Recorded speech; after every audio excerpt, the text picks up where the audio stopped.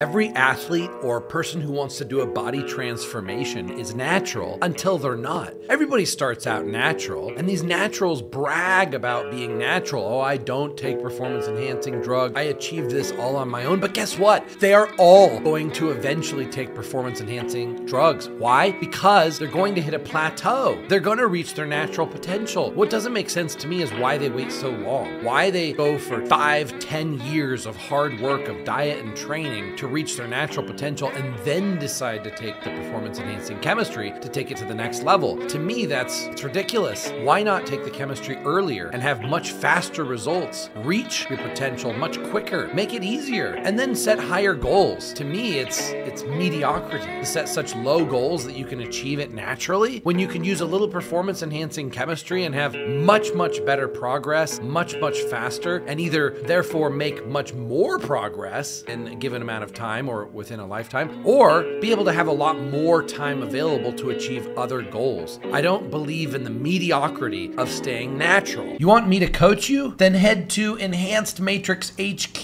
the link is in the bio, and let me help you reach your full potential.